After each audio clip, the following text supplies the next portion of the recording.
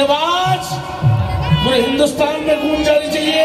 तो तुम्हें कसम है अपने सनातन धर्म की? बोले जा श्री